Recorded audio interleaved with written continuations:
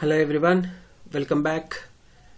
So from this video we are going to start a new uh, lecture series on signals and systems. If you are first time to my channel please consider subscribing. So in this video we'll learn about signals and in the upcoming videos we'll learn about systems. Okay so signals. So what is a signal? A signal is information contained waveform. Information contained waveform. So if you generally represent any uh, waveform then it is just called as waveform. If that waveform contains some information to be conveyed then that waveform is called as signal. Okay? So that is the basic difference between a signal and waveform. And signal is a physical quantity. Signal is a physical quantity which varies with which varies with time space and independent variables. Independent variables okay? So a, a, signal is a physical quantity which also varies with time space and independent variables. Okay? So generally classification of signals so classification of signals so broad classification of signals is of three types. One is continuous time continuous time or analog signals continuous time signals are also called as analog signals. And second is discrete time signals. Discrete time signals. And the third classification is digital signals. Digital signals. So continuous time signals are generally represented with x of t with x of t. That is amplitude here. This x of t represents amplitude which is represented on y axis and t on x axis. Okay so gen generally any continuous time signal. So this is an example of continuous time signal x of t and t.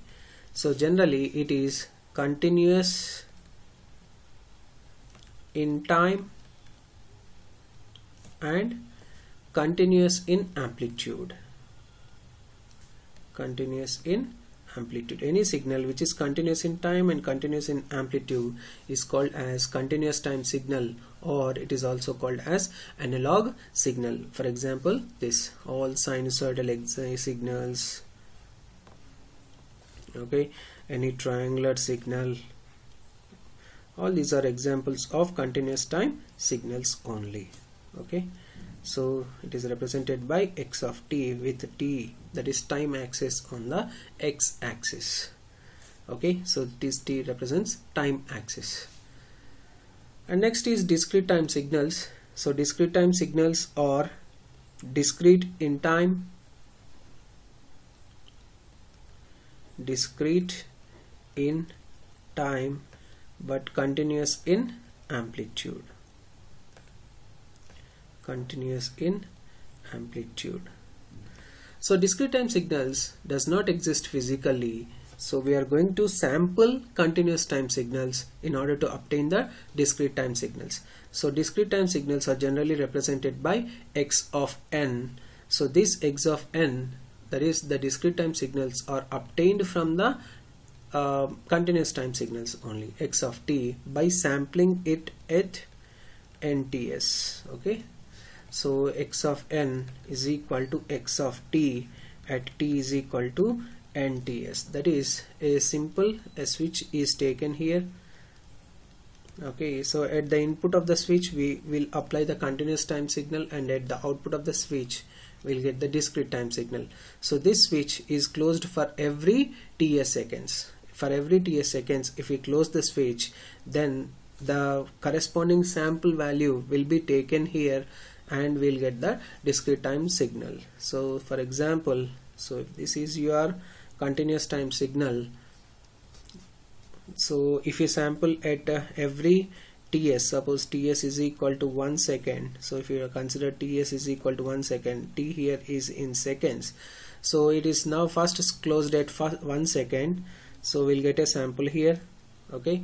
And uh, next it is again closed at uh, the gap between two samples or the gap between two uh, two samples is one second. So we'll again close the switch at 2 so 1 seconds 2 seconds 3 4 and so on. So if you observe here it is continuous in amplitude and discrete in time. So it is continuous in amplitude but discrete in time because the discrete time signals are obtained again from the continuous time signals only.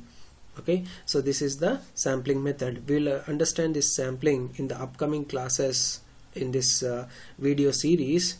Okay? Clearly I'll explain there about this sampling.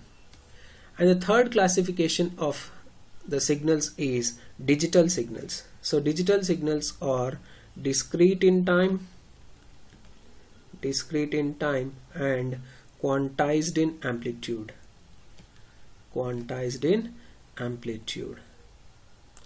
So quantization means rounding off to the nearest value. So it is again obtained from discrete time signals. And discrete time signals are in turn obtained from continuous time signals. So only continuous time signals exist in nature. So from continuous time signals we'll obtain discrete time signals.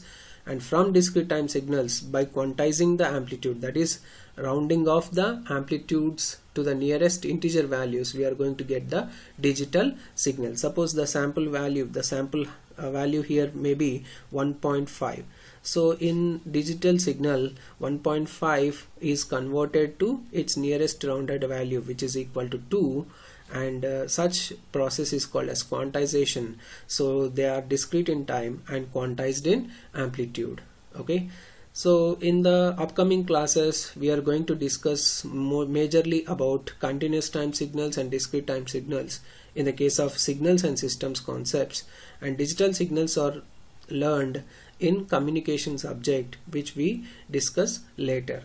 Okay? So our concentration or our area of interest will be on the analysis of continuous time signals and continuous time systems discrete time signals and discrete time signals in the subject signals and systems.